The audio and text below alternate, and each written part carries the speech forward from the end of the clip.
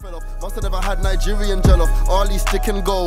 Mix it up like Riddick Bowe. Mix Holyfield with smoking Joe. What's that? What's that? Smoke. Travis got two fights, two wins, and KG got no fights, no losses. Tunde was the first guest on the show. You know that we only sit down with bosses. Wax on, wax off, Mr. Miyagi, master the craft like master. Please welcome firstly boxing out of the red corner. College, money made, glamorous ting.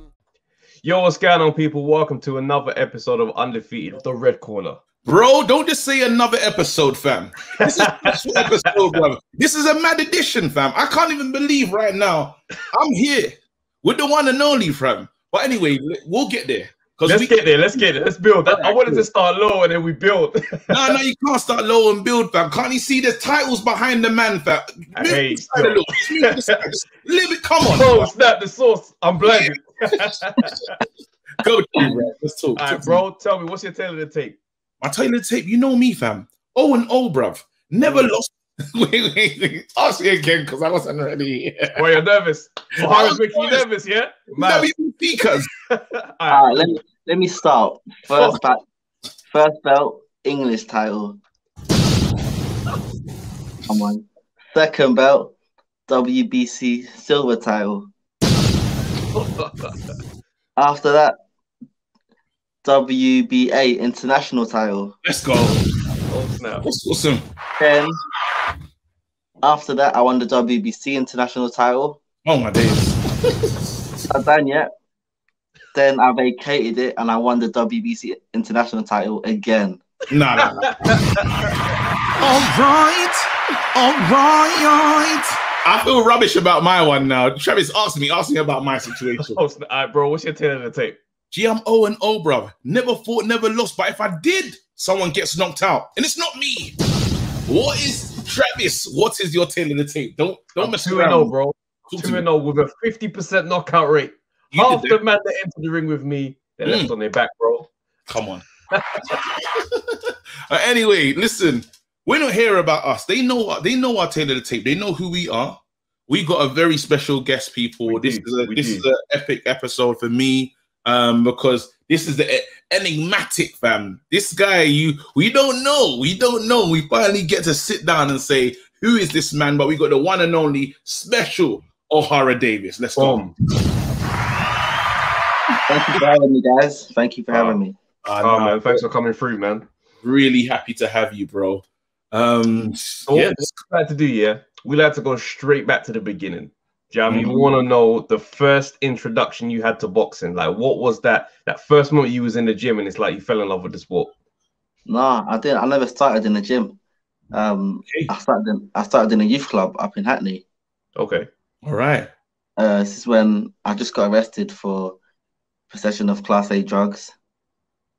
I was about 16 years old, and then not long after that, I was back on the roads, got arrested. They were trying to charge me with attempted murder.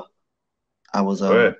yeah, I was 16 years old at um at at this point in life, in the night of Crown Court, and that court case I had went on for a number of years, and so obviously I got kicked out of my school because the person that I stabbed, he was a member of the school that I was in, of the secondary school, and so I was just on the roads, I was just on the streets, you know, doing the same old.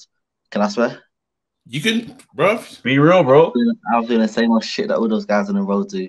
But Mm. then I used to go to it was like a little youth club um, in my local area and had a boxing coach used to come in every Wednesday. He used to come and do pads like like with all the guys and I never I never went to the class. I was like, nah, boxing, that ain't a part of me. For the first two weeks I never went there.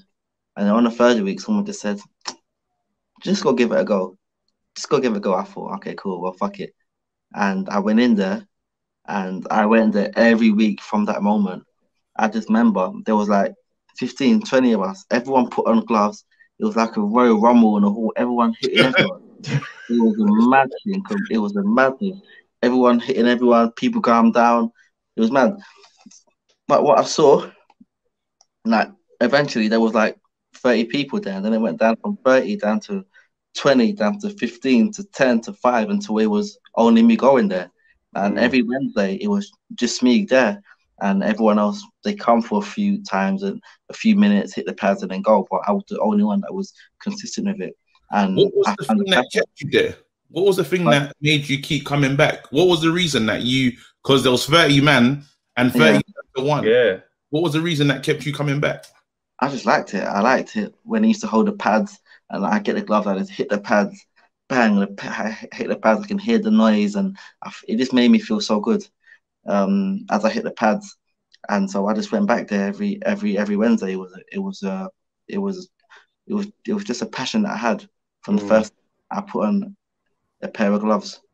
I love I it. So, so like, let me like let's let's get into your your mindset at the time because obviously you were on the roads, living a certain Mm. way. Do you know what I mean things were on top, and you find boxing, and I imagine there's something about boxing that helps you kind of move away from that lifestyle. What was what was that?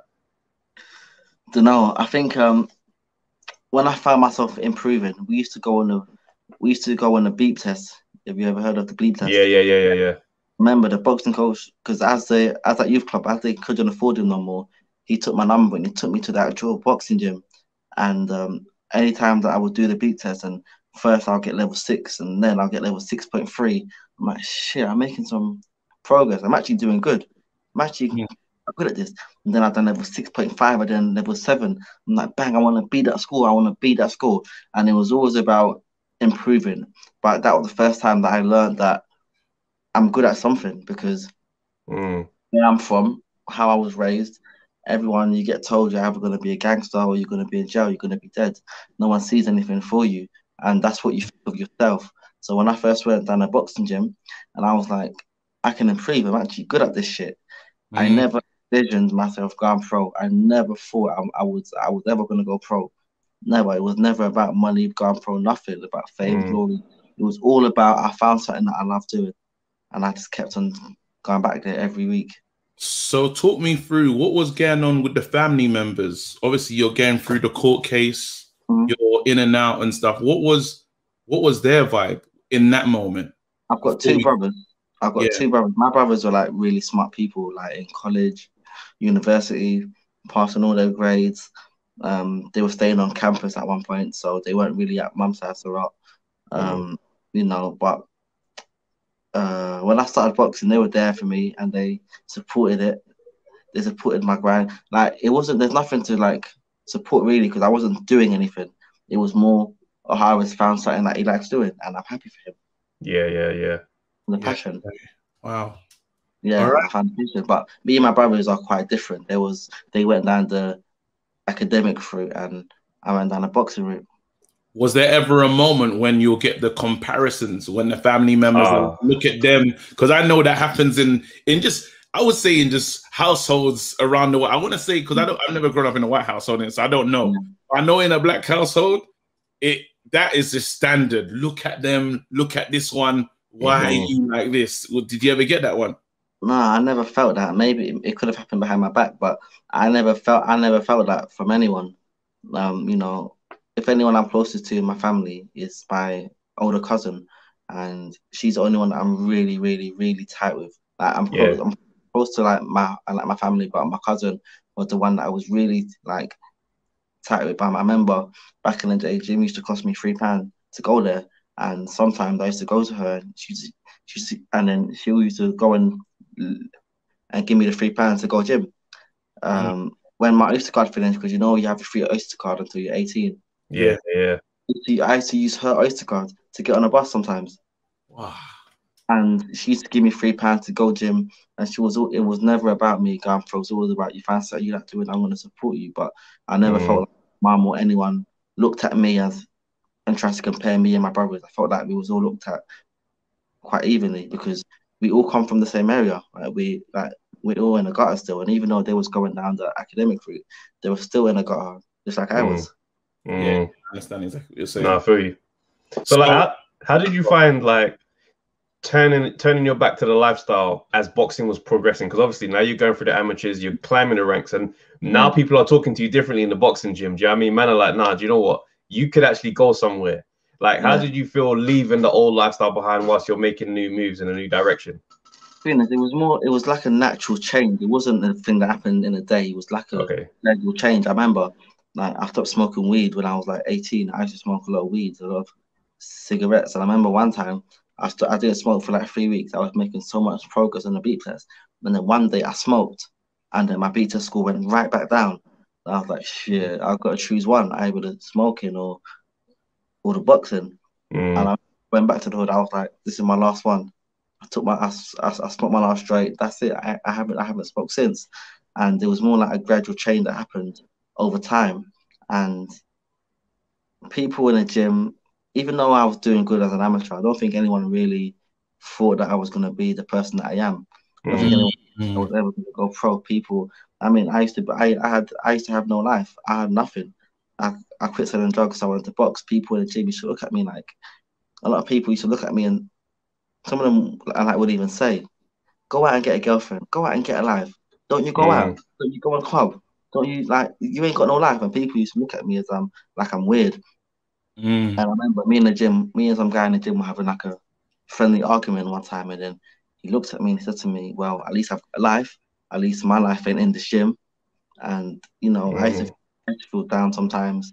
Other people used to come to him; They had cars. It weren't great cars, but they had, but at least they had Yeah, yeah, like, yeah. they had a car to get there. Come with girls. You know, they, they, they used to live their life. I I never did, and I don't think anyone thought I was going to be the person I am. Is it? So I want to. Let's look, go back here. And that moment when you're gonna turn pro, did you go and speak to your cousin? You know the cousin I was giving the three pound. Yeah, What was that conversation like, or the or the day that you finally you won that first fight as a pro? What was that conversation like? Between me and my cousin, my cousin didn't Mm. really care. Even up to now, she still don't really. She actually still don't really care. I go around the house sometimes. We don't talk about boxing. She don't really like the time when I said that I'm going to go pro. I don't think I even spoke to her about it. I think that she saw it on Facebook somewhere. Like, yeah, no. She like she's been to only one of my fights as a pro. Lit- Literally been to only one of my fights. Like this Mm. boxing stuff don't really care. So she's someone that always loved me for me. Yeah, It yeah, yeah. because of what the boxing stuff. So I would I say that she's proud of me. She's not proud of me because I'm doing good in boxing, but she, but she's proud of me because she saw what I was involved in before boxing and the way that I've changed my life around mentally. I've and, I- and I've just literally grown so much mentally, and she's just happy to see that Development. that change in me. yeah. No, I hear that. So now the thing is, it's mad because I, I always reference you in these boxing conversations about boxers creating a personality to allow Yeah. them to progress their career uh, in a bigger Yeah. way than boxing can allow sometimes. Because Yeah. you know you was on the small hall show circuit for for a period of time. Do you know what I mean? So it's like you know you you were a prospect, but it wasn't like you had the backing of the industry, Yeah. the game, and then suddenly it was all about what Ohara said. Mhm. Like, Yeah. t- talk us through that. T- talk us through that time. Well, when me and Tunde, because obviously I'm not sure if you guys know, but he was my first coach when I turned pro. Okay. Okay. I was fighting on small hall shows. My first and second fight on Steve Goodwin shows. My second fight, I made about 100 pound. I made about 180 pound. And you know how it works on the small hall circuit is obviously you, you got to sell to fight. If you can't sell any tickets, you don't get on the shows. Or if you can't sell, then you have to pay to fight. And my first fight was on April. It was in April 2014. I sold a hell of a lot of fight tickets, so I made about 2k, I think, for that fight. Yeah. Come on. we have to drop a bomb for that. And then I fought again in June, two months later. I made about hundred pound. Why? Because my ticket sales went right down. Because everyone that came out to the first fight said that they're gonna come again if I fight again. But I fought two months after, and these people they can't afford forty pound, forty pound, eighty pound, hundred pound yeah. every other month. regular. Mm. So I remember going to meet the guy, the boxing promoter, and he was like, maybe you got to fight once every six or seven months Mm. you can't sell enough tickets. And I was thinking, damn, what am I gonna do? Um, but obviously at that time, me and Tunde, we were going through some stuff. You know, I, you know, we was like we used to clash in the gym all the time, so we parted ways. And then I joined Tony Sims' gym. But Tony Sims, him and Eddie Hearn, I like that. They've got a real good link. So Yeah. after I started boxing on matchroom shows, and I feel like it came at the right time because um I was gonna fight every six or seven months, and I can't So, Like, so was this was this literally after your second fight? You, after you my tri- second fight. right. Okay. Oh wow! How, how long was you with Tunde then? In that Was it? long- for years because I trained with him during some of my amateur boxing career. Me and Tunde were together from, and he just introduced me to Tunde. Um, Mm. I think 2000, probably 2011, I- no, 2012, I think it was. Okay. 2012, and Wow. you know, with him. He so he, so he would literally train me in the gym free of charge. He didn't charge us free of charge for like two years. Me, Anthony Yarde, Junior Sabo, he had the three of us in the gym, and he trains all of us for years. But um, Now, how was that conversation then? Because I can imagine you're you turn pro, right? And then after t- you've you've left after what two professional fights or something. Yeah. Mm. So that was that like a tough thing to re like was that conversation? I, I can't imagine how that conversation goes because training me for free, and then Yeah. now, like, it's time to make it, and it's like raw big man. I'm there weren't no conversation. Me and Tunde had an argument. Like we used to clash in the gym quite a bit. We used to oh, Alright. listen. Like the first time when I joined the gym, we used to clash all the time, and then sometimes like we'll find the right balance, and then we'll be cool. But then we'll clash again, and something goes wrong. So when we like parted ways, it was like it wasn't it wasn't it wasn't on good terms on my part. He, mm. he might say it was on good terms on his part, but I think I, think, I don't think it I don't I don't think it was. I think it was bad terms on mine and on his part. But what I have to give him credit for is that I signed a managerial contract with him for I think three years, yeah. and and we ended about three months into that. So he phoned me up. He was like, "Listen, tomorrow phone the boxing board and then tell them that I'm not going to manage you no more, and I'm going to release you from your boxing contract." Wow. And that's a good thing. I imagine Yeah. trading someone for all those years and then bang, releasing them free of charge. And you know, some people say you can say what you want about him, but him doing that, I've always got to say good things about him. I've got to give him. Well, credit. let, let me drop a bomb for him still. Let me. He deserves that one still. I know. Um, yeah, man. That's that's hard. That's yeah. We've heard because we've heard some sad. We've heard some crazy stories of Yeah. people that are still stuck in in deals. right. People Still paying twenty percent, and the, the, tra- the manager's not even involved. There's never been to a spa. Never seen him in mm. time. So So tell us, so talk, let's talk about the early stages of the Tony Sims Eddie Hearn journey mm-hmm. because, like, even even though you was with that camp, it didn't feel like you were getting the backing, the pro- like your name weren't really moving like that. So what was that? How how do you When find it? first- when I first joined that gym, you got other fighters in the gym as well. There was like probably seven, eight, seven to eight of us. I was getting paid less than what everyone else was getting paid for their fight.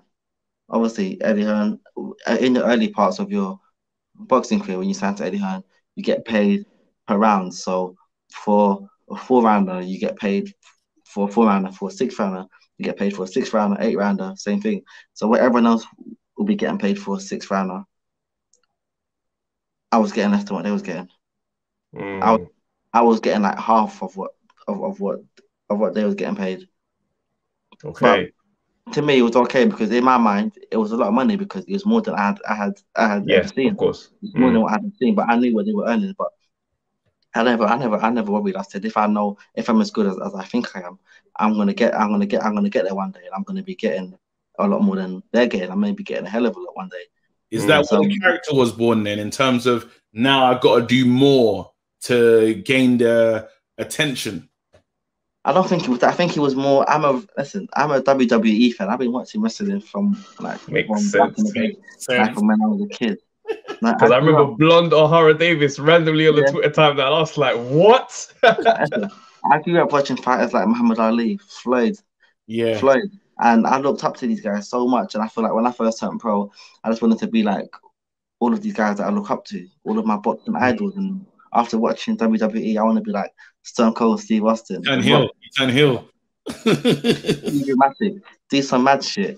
Like, that's what it's all about. And I just wanted to be like all these people that I had looked up to for all these years. But at the same time, it was still marketing me well because everyone spoke about me and everyone knows who I am, Mm. how I acted. And I feel like that's an important part in this in, in, in this game. I know certain I know certain fighters and they're so good they can fight. I speak to these guys all the time. I, I, I know I know so many fighters and they follow me sometimes. I speak to them and they're like, I'm trying to get a shot. I'm trying to get a shot. I'm trying to get a shot. They got all the skill, all the talent. They're not getting a shot. Why? Because, because they're not pushing themselves out there. Promote yourself. Mm. That's real. Do you reckon, looking back though, do you reckon how you was talking it hurt your career by any chance? Hurt me how? Well, this is the thing, because for me, I'll be honest, yeah. When I first met you, I heard the way you was talking, and I said, I like that. I like that energy. Even was at a rave together. I think you you had your belt still. I was, I was doing a comedy. It was a comedy show. I think you came and stuff. I got a picture of you. It's mad, but you probably Was it in Shoreditch? huh? Was it in Shoreditch? Was it in Yeah. Shoreditch? Yeah, yeah, yeah, yeah, yeah, yeah. Annie there well. Wasn't wasn't Annie? Wasn't Annie there as well? I can't remember, but I remember seeing you. The belt was there, and we took Yeah. a picture together. Back in, but it's time ago. You didn't have the facial. I don't think I had the facial hair like that. Like so, it was mad. But then, so I saw your character, and I said, I like how he's giving it up.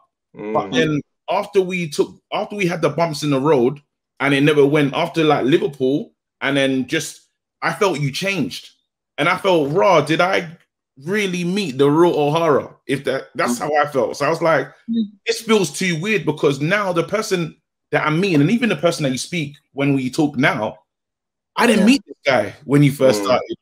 You know Yeah. what I mean? I, I I felt I met someone completely different. Now I'm getting to see the real you. And I, I don't want to say the real you because that could have just been you at the time. But th- so that's why I asked the question: Do you reckon it hurt you, or do you reckon you would, if you could go back, you would have done it in a different way? Nah, if I could go back, I wouldn't change anything. The way that everything's gone, I've learned from all the mistakes that I've made, the things that I've said. I've learned, I've learned from them, and sometimes it's like if you didn't go through these things, you wouldn't be the person that you are. And Mhm. if I change anything, it might change now. And mate, I love my life right now. I'm about to get my first, I like my first flat. I got the mortgage offer a few hours ago.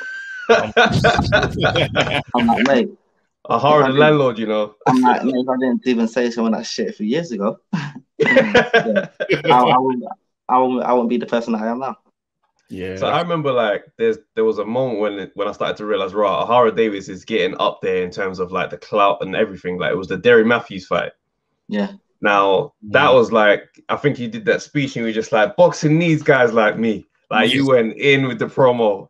And I remember thinking, nah, this guy's he's captivating everybody right now because if you if you don't like Ohara, you're still talking about Ohara. If you Yeah. like him, you're gassed by this energy right now. So it was just this great cycle. And I Yeah. think was it around about that time when you and Floyd got into an argument? Yeah. Talk to us about how that was like, because obviously you're in the height of like hype now, innit? and now Floyd is chatting back and forth with you. Man's in a press conference. I just want to say this: you're in a press conference with glasses on, though. The- Even Yeah. stuff like that, I'm like, yeah, this guy, we need it. But carry on, go. Had on. a shirt and tie glasses on. Like the whole thing was, I want, I, I've, I've got to be different. I've got to show that I'm different to all these guys. Like when you walk into the ring, when you've got a thousand people, you've got eight different fighters. If I want to, if I want to be past all you guys, I've got to stand out, not just in the ring, outside the ring too. So I've got to do some, I've got to do some weird shit. What I do, I put on a shirt and tie. Anyone else got on a shirt and tie? Put on some, some full shades, and not only that, put on some headphones. Yeah, yeah, yeah. Come on. Come on, people, madness. people look at me and say, "Oh, he's weird as shit," but at least they're saying something about me. Yeah, So, that, so that was the whole thing of the conference. But then, when me and Floyd had our thing, and I, I've listened, I've always looked up to Floyd from when I was a kid. Uh, I remember I went there as a fan. I wanted to go and get a picture with him. Like he's been like my idol from when I was young. And when I met up with him, he started trying to compare me to one of his fighters, Tank Davis. Okay, And- yeah. I've got no, I've, I've, I've got no issue with that. But at the end of the show, I said to myself, listen, a thousand people come in, they all got a picture with him. I need to stand out. How am I going to stand out? And I said, I said, you know what? He said something earlier, even though I didn't mind it, I'm gonna make it seem as if I didn't like it and start an argument. that got about that got about two million views on up on YouTube. Everyone spoke about me. I was the talk of the town. So um, that was why because I know I'm not against him, but mate, I can't be the same as all these other guys. Otherwise, I'm gonna be like these guys, and I've got to Mm. stand out if I want to be different. So what did Floyd say to you that got you to the point where you're like, you know what, I need to respond to that still? He didn't say anything. I just thought, you know what, I need to stand out from all these guys. That was it. That was it. He said something to me a bit earlier. He tried to compare me to his fighter tank, and I was like, I'm thinking, man, I don't mind that. This guy's probably fucking the next best thing. But mate, I've, I need to, I need to, I need to, I need to stand out. And imagine, imagine this: you wake up in the morning and you see Ohara and Floyd had an argument. Imagine them, my Oh, name, Floyd's name in the same sentence. Nothing. Imagine Oh, them mate. putting my name. Like, listen, listen. is the best boxer to ever lace on a pair of gloves. He is my idol. Imagine your idol. Imagine someone that looks up to like anyone, Mike Tyson, Michael Jackson. Imagine seeing your idol, but imagine arguing with them and then other people put their name and your name in the same sentence. Come on, it don't get better than that. I'm looking at Sky Sports next day. I'm looking at Sky Sports next day. They got my name and they got Floyd's name in the same sentence. I'm like, hell yeah. Listen, man. Mm. What, was that conversation with the man them though? Because obviously you go home and like people they haven't spoken to in a long time are seeing Floyd Ohara. yeah, yeah. Same sentence. What was those conversations? Because I can imagine the phone was ringing. I, I, I've always been the kind of I'm always I've, I've always got a tight circle. So a lot of these guys that text me and phone me, man, I don't even I don't even get back to most of these guys. But my brothers and that, like my brothers know the deal. My brothers know the deal. They know what I'm about. So I'm Yeah. like, oh, yeah, oh, oh, I thought you argued with Finger with a flag, and I was like, yeah, and then that's about it.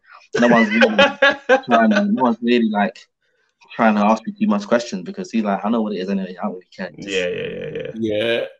Uh, you know what's, do you know what's so funny about you, like, yeah? Even though how you make the family sound, everyone just kind of chill about stuff. Even the fact that your your cousins come to like one fight and she been giving you the three pounds and stuff. I was like, bro, just, like, it's Floyd, isn't it? Just do your thing, bro. Like, That's mad. Yeah, like my family's um like if I need anything, they're there for me 100. percent yeah.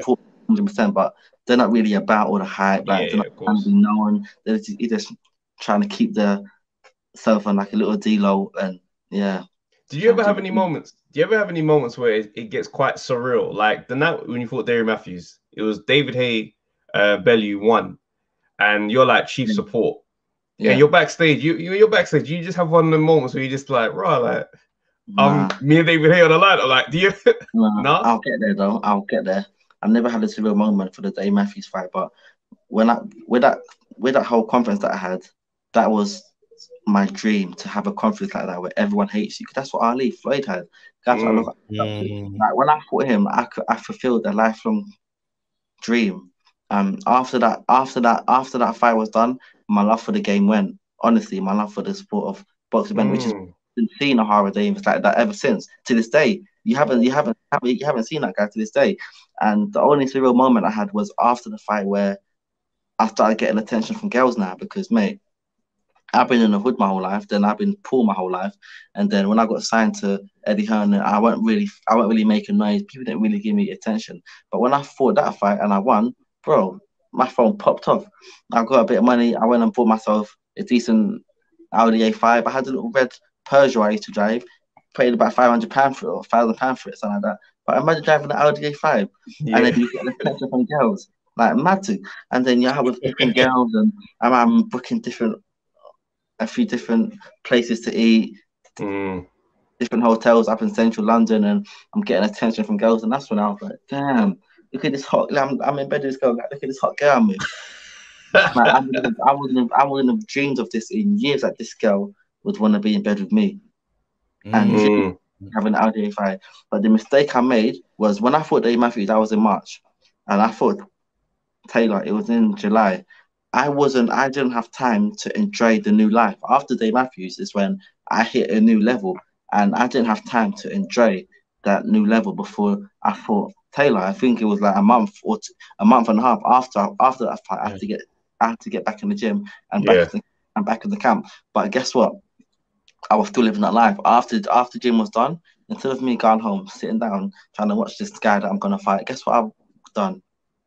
Went and meet some different girls, restaurants, hotels, and for that fight, I never watched him, not once. I never watched my opponent, Oh. not once. Right. For that fight, I had no game plan. Whenever I never watched him once, it was just like I felt a lot, I felt like love of the game. I just thought, you know what, I'm getting about 100 G's for this fight. It is what it is, man. I mean, I get, I get a bit, I get paid a bit. Yeah, yeah, yeah. was it? But you mate, think that you had enough to beat him um without because obviously not watching him, did you feel that you had the confidence to still go and get it done on the night or what did you just know it was potentially gonna go this way? I, it's probably no idea. I thought I was gonna win. I thought like, it's mad because when everyone gasses you up, yeah, Yeah. like sometimes it's a bit deceptive. You feel like it's impossible to beat me. I'm not gonna lose. I won all these fights, and I'm just gonna go in there with this fight again. And then when I lost, I was like a wake up call. I was like, shit, I'm not actually invincible. Mm. Mm. So so like the lead up to that fight, it was different because one, it wasn't it wasn't a matchroom show. Two, in all the like the press conferences, you were laid back, you weren't talking. He would push you and try and engage with you. You wouldn't bite. And I was thinking, what's going on? Because I'm thinking the Ohara I know is not having any of this at any point. But somehow Yeah. you just seemed chilled. What was the mind? What? Why did you do that? It was on Channel 5 and I went trying to hype up their show. I thought, fuck these motherfuckers. And the thing is, I saw, I think Barry McGuigan said that to you, innit? He said, You're not trying to promote this thing. And you were just like, mate, there was no tweets, no nothing, mate. I thought, fuck this. Well, I ain't trying to hype up these show. Fuck these motherfuckers. Channel 5. Bullshit. Listen, I thought, mate, you push me. I say, okay. You abuse me. I say, I say, I say, and I just say, okay. But even so, like, if that was before, if that was when I fought Derry Matthews, if that was up on Channel 5, I say that. But then if it was a few months earlier, before, I would have, I still would have come out of my shell. But the fact that I was I was able to be contained in that shell shows that I was losing I was losing my love. I want to ask you about that. So you say you was losing your love for the game. What? Because you said what was it? What on the way in, on the way out, you just said, you know, I just don't feel the same about this. What was that? Did you ever kind of find out what, what that feeling was about? Yeah, I know. I, I, I know what it was like. I, when I started when, I, when you start getting attention from girls and shit, and, you, and you're driving a decent Audi A5, and Mm. you got then you got over 10k in the bank, mate. You got over 10k in the bank. Imagine that seeing two numbers and then the little comma on, zero zero zero. Like hell, fucking yeah, 10k, Good 10, 15k in the bank. Come on, man. Like, it's different when you're born up in the city, but when you come from where I'm from, mate, Mm. if your bank account is not on overdraft, you're doing good. Yeah, you know, you know the ones when you check your balance, but you close your eyes, you're not ready for it. Like, like, mm, Yeah. yes. It's them ones where you don't Um, want to check your yeah. balance. You just live So um, I feel like I was living. I was. I thought that's that was when I had a life. Like that's when I had a life. Like before that, I never had a life. I never had no life. I was always too poor to do anything, and I was more hungry. But after Dave Matthews, I wasn't hungry no more, and Mm. so I wasn't, I wasn't hungry. I'm like, mate, I'm getting girls. They're like, cool. Like, come on, I've got, I've, I've got a decent car. Was it the people? Did people around you change? Did your did your circle of friends suddenly expand with the new the new like clout? No, it was- wasn't my circle of friends. I thought I was always I've always had like the same friends. They were like James Argent, Anthony Yarde, my brothers, my cousin, a few others. The only I don't on my, my circle was really small, so they was always around me. But people online like like to gas you up, and then when you go to like your old hood or to your old youth club, and people before were like, "Oh, how's things are Harvard?" Now I was like, "How is things are Harvard?" things. How things like listen, man. Like this guy can be on the phone. As soon as I walk past, hey, hey, hey. One don't second, worry, I think I'm the gonna call you back here. One second. Phone call. Hey, what's going on? Yeah, Come on. yeah, yeah. So with that, they One make second. you The sound's just done a madness. One second. Let's just. Can you hear that, Travis? Yeah, The whistling. I can. You can't hear it, Trav. I think it could be your thing, you know, and Travis on your side. Mute yours and then come back. Mute it. Yeah, it's Yes. gone. Whistling. Yeah, like a proper feedback. Like snap. Um. ugh, we can, we can, we can sort it out. Do you know what you do? I haven't changed anything. Take it out. I think it was just on that moment. It was just on when he um. It's still ringing now. It's like what happened last time. Yeah, yeah, yeah. All right. Uh, I'll leave and then come back in. Yeah, yeah, yeah, yeah. Do that. Yo, now what, bro? Conversation is crazy. I didn't realize that there was so much more. Yeah. See, you know what I mean? Because even when, again, like, oh, I don't even want to say this when he's before he comes back, but the way you present, you would have known that you've gone through all this. Like, Yeah, you had to fight before being Yeah. in the ring. You know, the Yeah, whole yeah. story mad, yeah, mad. your whole story. Let let me get back into that. Actually, I'll I'll All say good? this now. Um, yeah, I think Travis talked to us. Testing one two one two one two. I'm good. Wait, let's just go back because I can't remember. There was a point that he was making before, and then it. That's it. Your phone when you said you was coming back to the um. You said it. I'll be going Yeah. to my old, to my old hood. I'll be going down to my old youth club and that, and someone's on the phone. They'll be like, "No, you know what? I'm gonna phone you back. I'm gonna phone you back." All right, what's going on?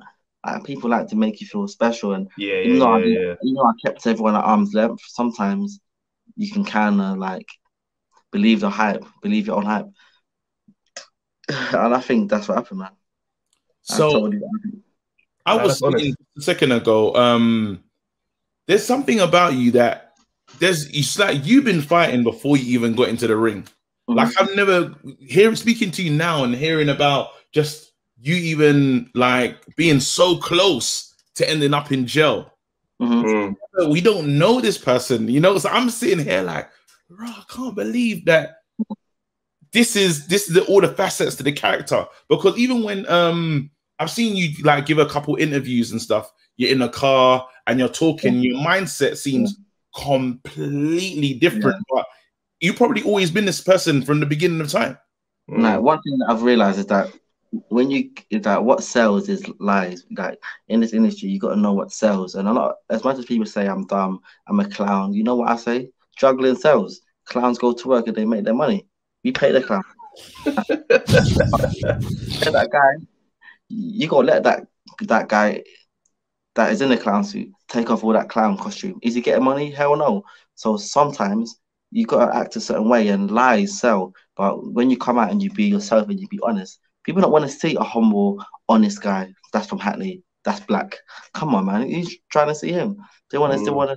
Like so.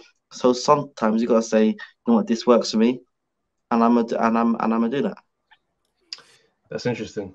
So the thing is, it's, it's funny because you know you say your love for boxing died in that Derry Matthews fight. Where is your love for boxing now? Good question. Because you're still an active fighter. Yeah, my love for boxing, I haven't got the passion like I used to. Like before, my whole passion was become world champion, become known, become famous, get as many followers as you can. Like that Instagram ad, I shut it down. I've got a new one now. I I started again like this time last year. I shut the whole thing down. I, I don't want to. I don't want to be a celebrity. I don't want to be famous no more. Now it's all about being smart, trying to make smart investments outside the ring, and I want to got certain things that I want to make happen and boxing's my avenue to how I'm going to achieve these things outside the ring. But at the same time, boxing's what I do. Like now, I've made sure that I'm bored every day. I was in Dubai earlier this year for like seven days, and I was living life a bit too much. I said to myself, I need to come back to England so that I can be hungry. I can be bored. In Dubai, I'm not, I'm not bored. Everything's everything's here. I'm living too much lifestyle. Mm-hmm. I need to mm. be bored. I need to seclude myself. So all I've got is the gym. So now that's what I've done. Today I woke up, went gym, played PS4, went and then I went back in the gym. Tomorrow morning I got running, then I got gym again. So right now I make sure I'm so bored, all I've got is gym. And so that keeps me in there. So even though I'm not hungry to be a, a world champion like I was, I'm I'm still gonna perform even better now because I work even harder and even yeah. smarter now. Do you think you would have benefited from having a, a support system as you adjusted to the new levels that you were reaching in life? to keep you balanced and focused on, on boxing and what needed what you needed to do. His support system, as in, as in like people around you, like your management, kind of just having a bit more of an involvement in your day to day, just to kind of keep you there. Do you reckon you would have benefited more from that, or do you reckon that it would have just happened regardless? Like, it would happen regardless. Like, I've got a family. I've got I've got two older brothers, and they saw all the mistakes that I've made, but they've allowed me to make all the mistakes that I've made because sometimes if I don't make that mistake now on a small level, I'm gonna make it even bigger on a bigger yeah. level. So you know? I remember when I fought Taylor, I went out to, to New York with this girl, New York, Miami. I spent 10k in like 10 days. I 10k like I spent 10k in like 10 days, and they saw me make all these mistakes. But it was like there's another millionaire that's that's got 10 million in the bank, and he spent five million on a girl in five days. So if you don't make the mistakes spending 10k now, how about if I ever make a hell of a lot of dough, I'm gonna make that mistake then. I was like, mm. allow me to make those small mistakes now. And even though 10k is a hell of a lot, it's not it's not anything like mills. What I could what like what could happen? Yeah, yeah. Do you so, ever um, Adrian Broner? And because he's you're the stuff you're talking about, he lives a lavish lifestyle. He's lavish. Yeah. He said yeah. the other day, if they keep me going, I will stay out of trouble. I need to yeah. fight as much as possible. Do you ever like look at him and almost understand or have some empathy? Hundred percent. I get what he goes through because Adrian Broner made it at at the start of his boxing career. Being up in America, yeah, he was known from his first fight. He, he didn't right. have to go through all the phases that I had to go through. I had to start small. He started big, and he made it to the top. But he had everyone around him, and as soon as he lost and stuff, everyone backed off him. So he's so he has experienced everything that I have, but on a much bigger scale. And Mm. sometimes I feel sorry for him because I know what he's gone through, and he, and he wants to get there again. So that everyone that doubted him, everyone that turned their back on him, can like he can say, you know what, bang, I made it back there, and this time I'm going to be smart. But I don't think he is going to make it back there. I don't think Mm. so. No, hey. Yeah, yeah. So let's let's talk about um, the the situation where you ended up parting ways with Matchroom and Eddie Hearn over the Liverpool incident. Yeah. Like I remember seeing a series of your tweets, and like the theme is like you were thrown under the bus. That's Right. it, yeah. What do you mean by that? What Let me tell you. exactly Let, happened? let me explain that situation. You guys got time, yes, to listen to this. Yeah, Let's go. Let's go, bro. Oh, man. Here's what happened. I go to gym one day, me and Ted Cheeseman had, had a good spar. I come home, I'm like, cool. Charlie Sims, my manager at the time, sent me a screenshot that Eddie Hearn sent him. And he was like, get OD to go and send up a tweet down to Tommy Coyle so that we can make this fight happen because it was a thing trying to make me against him, Mm. me and Tommy Coyle fight. So I thought to myself, you know what?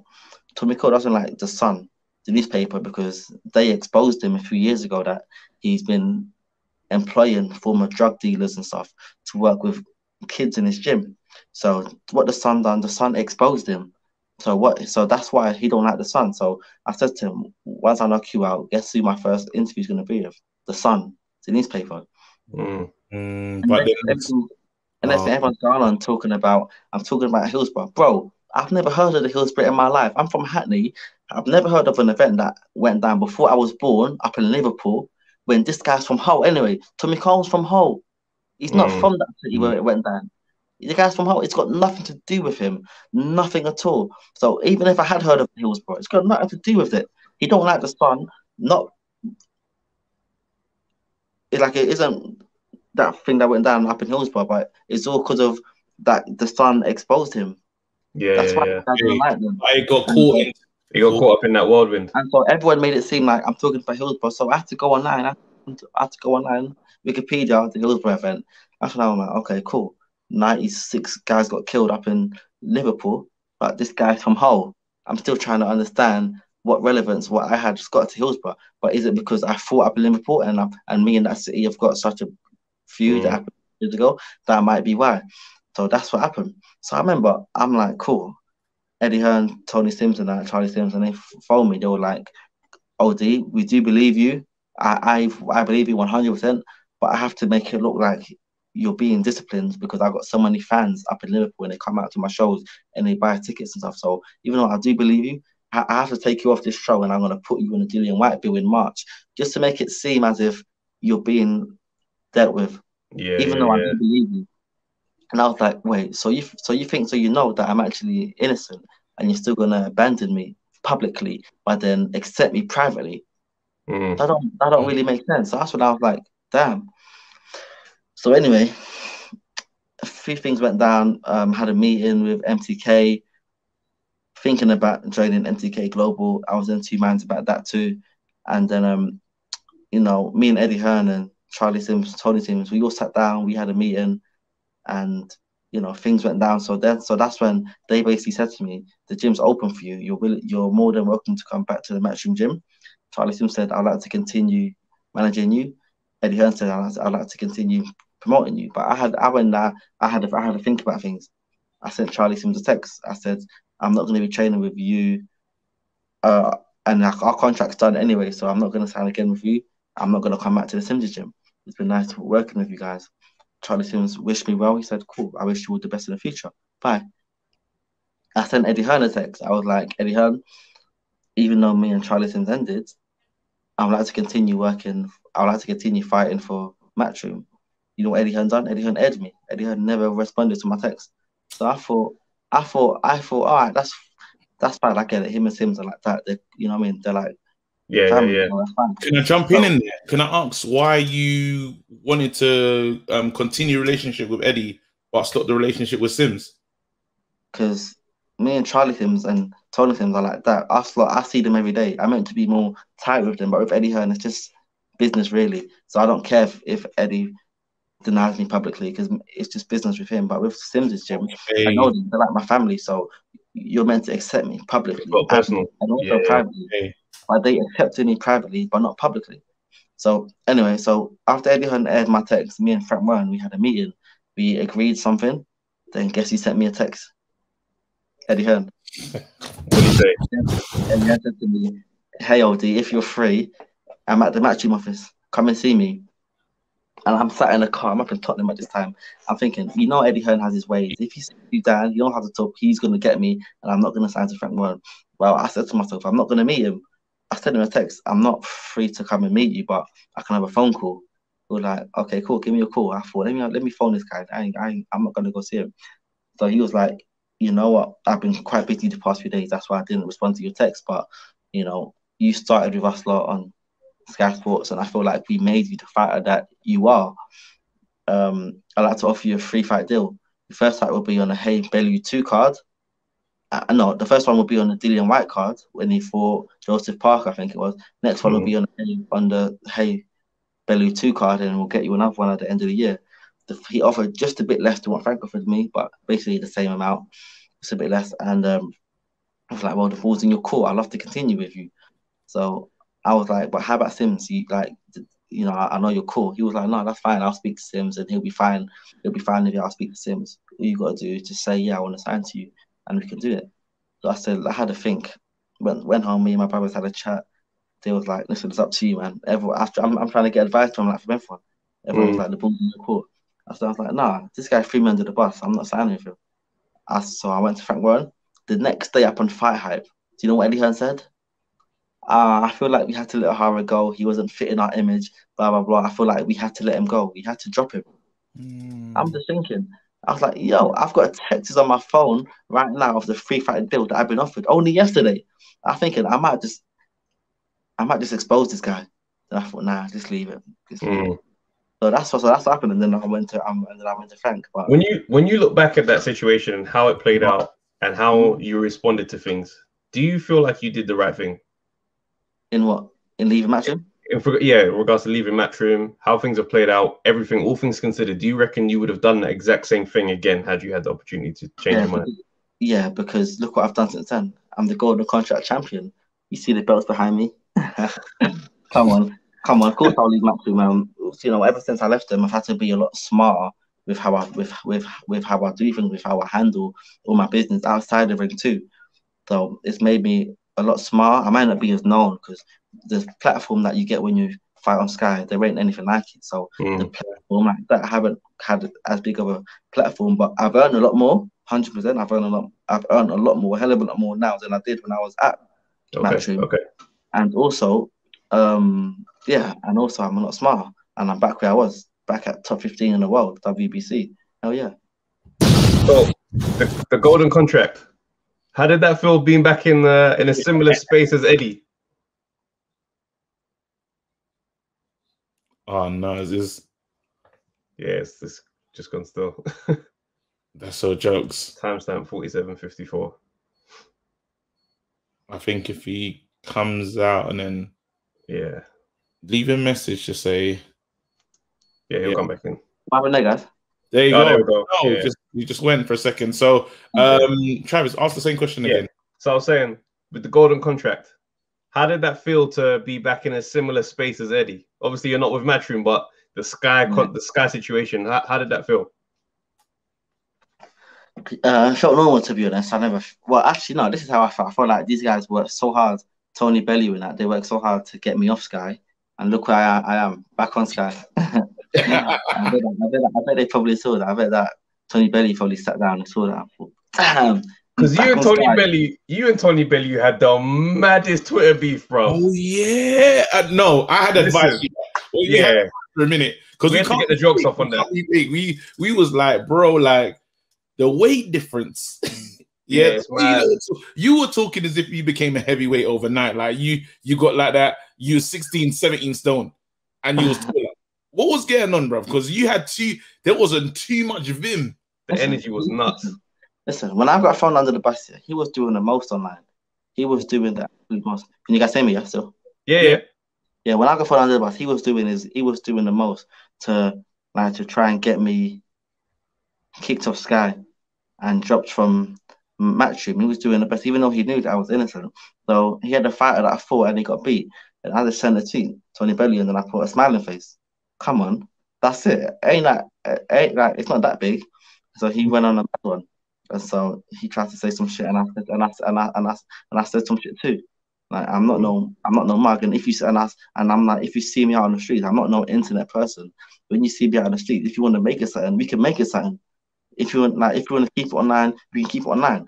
But keep out just bear in mind anyone, I tell anyone, boxing fans, they can say what they want about me online, but when they see me on the streets, they all better show some respect. And they all do show me respect. As much abuse as, as I get online, when they see me up in person, I get nothing but love. So mm. everyone better keep it that way because I said if you want to make it some street shit, I'm not going to be on the receiving end of anything. And I still mean that to this day. So how did that? Did you lot ever piece? Did you piece it up afterwards, or is it just like just? No, no, it just left it like that. I hear that. so listen, I gotta ask you, yeah. This Tyrone McKenna, you and him had got a little scrap in the car park, mm. and it was on IFL TV. Bro, that wasn't real, was it? Let's be real. Let's well, let's not do that. That wasn't real. I'll be honest, hundred percent. That was real. no, no, no, no, no, that's WWE. Nah. That was WWE. As I, and then as I got as I got home, I'm getting phone calls of, of, of my friends. Ah, see that thing I went down? Is it real? It looks a bit staged. And then I remember watching it back back too, and I was like, it actually does seem a bit staged. And if if I'm watching it from the outside, I probably wouldn't think it's real myself, but it was actually real. I, that looks nuts, bro. I see Kugan drop the camera oh. Yeah, yeah, yeah. Even Kugan dropping the camera feels like he never drops the camera. You never, never the camera, bro. That's what I was like. Yeah, no, but it was all it, it was all his fault. Kugan planned it. So what happened? Yeah, Kugan said to him, "Okay, I'm gonna, I'm gonna, I'm gonna, I'm gonna interview OD outside. After about five minutes, come out and let's see if we can make a little online beef happen. Like let's, like if you just go on there, talk some shit, we can have a little IFL beef. But obviously, I never do. Kugan told him, he never told me, so I wasn't expecting it. Whole scene. But but then the only mistake that he made is that he came a bit too close. He, like the guy came up in my like personal space, and I'm, and I'm like, if you want to stand there and talk some shit, we can go back and forth. I don't mind getting a few views, and like for and like yeah, yeah. for yeah.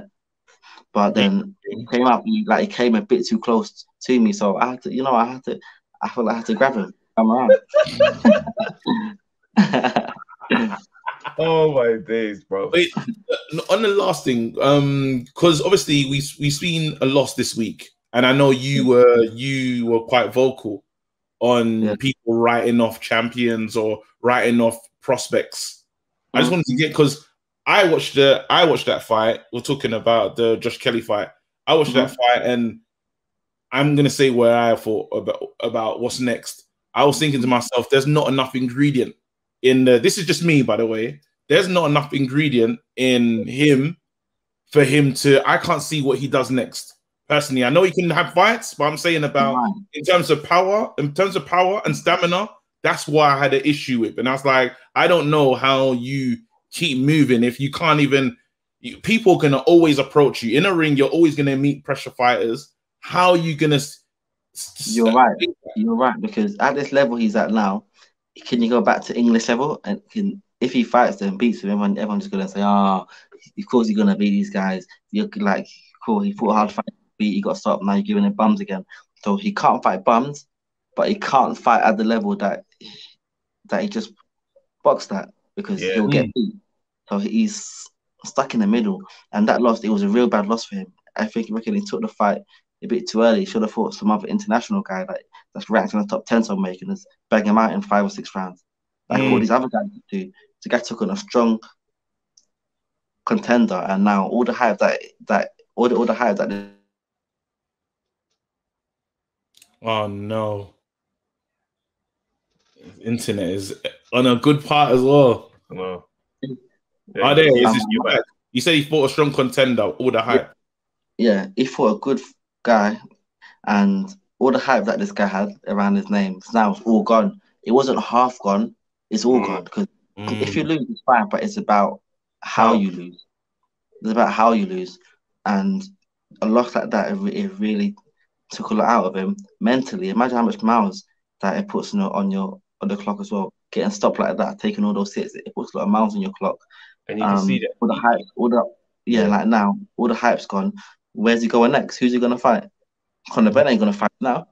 Mm, Yeah. He might fight Fury Markey or someone like that. But mate, even that, hey, is is like is a bit risky still. like if we if, if we how would you have any do you have any advice for him because you know when you fought josh taylor it was a it was a tough loss do you know what i mean i remember watching that fight i was in amsterdam bro and i was i was pissed bro because i couldn't believe what was that but how did you come back from that mentally do you know what i mean how do you I thought I, I had to fight again two and a half months after. I fought Tom Farrell, another unbeaten fighter. I, I, I thought I can't go back to I like to fight in these bums because everyone's just gonna say I'm a hyped up, blah blah blah. You know what the shit they talk. I'm like I can't fight a bum. I, I found another unbeaten fighter that's got a WBA international. You see up there, yeah, yeah. man, I knocked him out. I took his after I took his belt. So after two and a half months, it was like, oh, these back in the mix.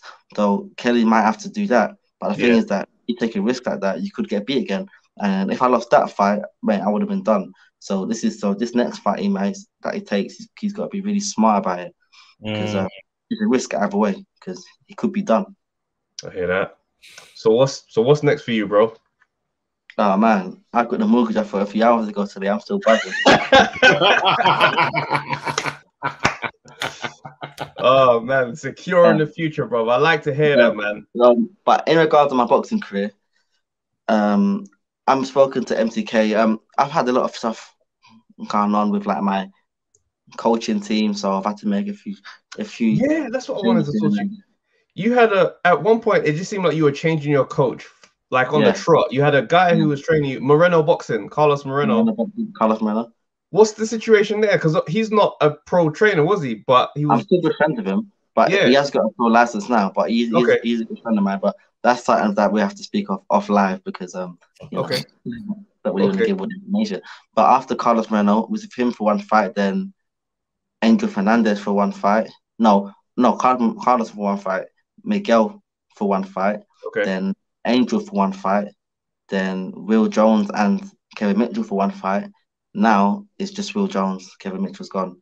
So I've had to deal with, you know, Kevin's not in camp now. It's what I've been dealing with over the past few weeks and a new training pattern. I've just joined a new gym. I may be doing a bit of strength work every now and again. So I'm just sorting out all these stuff. And then at the same time, um, I've got MTK in my case. They're giving me a few options, and I've got to choose my option.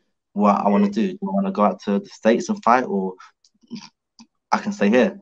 Um, the ball's in my court right now. So Is I've got- based- Would you go on out? that you- yeah is that something you're considering yeah, sometimes it's good. I think, you'll good. be, I think you'll be cool out in the states. There's, again, as you said, mm. if we can get back to the OD that's like saying the game needs someone like me, yeah I don't know where that dropped. If we can get back to that guy, and yet Yeah. guys in the states, you you Yeah. will you will be a madness because everyone that goes over is mad humble. We never seen Yeah. someone go over there and stick it on them man stick it Yeah. on them, man. You know, like we haven't seen that. So I don't. For I know you're in decision making mode, but Yeah. listen, he, Yeah, I would like to see it. yeah. I'm I'm just got something I've got to think about over the next few days. Is mate, Yeah. you know, going up there is long. Sometimes it's like easy So yeah, America, America. But mate, Yeah. it's long. Imagine getting. on- I don't want to get on a flight to go out there to fight, go and get like acclimatized for like four weeks and then fighting somewhere away from home. Mate, every time I fight here, I live in Essex. I sleep in my bed and then I drive and, and then I literally get in a car. I go to where I fight and I like it like that. I'm more comfortable. But going to the States is long, mate. And you know, before it would, it would have been my absolute dream. Yes, America, yes. But mate, now I'm just like, it's been these fights here, man. Been these months. Uh, he's made his decision. Hey, Travis, you just heard it just now. He's made his decision, bro. you, you, we know what you're doing, bro. You are Right. staying. Hey, Ohara, bro, this has been a pleasure. Still, this has been a good conversation, man. Thank you You're guys for always- having me, man. Let's definitely do this again, man. 100%. Hundred percent. One hundred percent. You're always welcome as well. And um, Travis, we have to go and train with Ohara one day. Yeah, Bro, yeah, that's the same 100%. Follow me. Yeah, yeah, yeah, yeah. Come to my yeah, gym. Come to my gym. Yeah, Yeah, we'll come. We'll, we actually come. We should. We should just go, Travis, and just film. Yeah. Yeah, that'd be Come. sick. Yeah, Yeah, come. yeah, Of course, yeah, 100%. yeah, I'm down for that. All right, brother. Look after yourself. If you see Take easy, Dubai, yeah, if you just have a conversation with him, yeah, just tell Oh. him I'm. I I'm tell you from now, he ain't coming on your show ever. And if you see him in person, bro, if you see him up in, if you see him on the streets, don't be like, oh, Daniel, but I'm sorry. Listen, I'm, I'm telling you now. If you see him out on the streets, turn around and run. Oh snap! Oh my days! He is what it is. oh my god. All right, wicked, man. Until next, All bro. Look right, after bro. Thank you, guys.